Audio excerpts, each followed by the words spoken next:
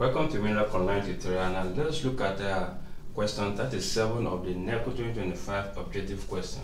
And it shows that two points A and B on the equator have longitude 162 degree east and 74 degree west respectively.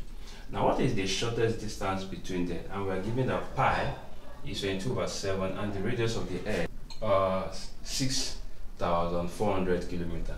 Alright, so first of all, we just need to do is just to recall the formula that is the shortest distance between two uh, points. So let us assume the length L, shortest distance, then theta all over 360 now times 2 pi now from the equator our r big r okay now our theta now is the sum of these two points, the angle between these two. So that is 160 plus uh, uh, 74. That should give us a uh, that give us a three. Sorry, two. 236 236 then all over 360 then times 2 times our pi is given us 22 over 7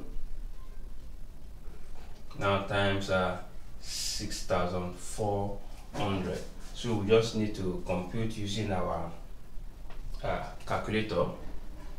Compute both the numerator and the denominator. We have this.